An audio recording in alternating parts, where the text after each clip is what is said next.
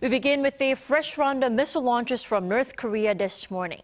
Seoul's Joint Chief of Staff says the North fired two short-range ballistic missiles toward the East Sea.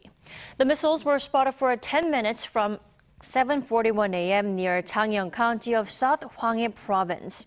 This is widely seen as yet another show of protest against the ongoing joint drills between Seoul and Washington this week.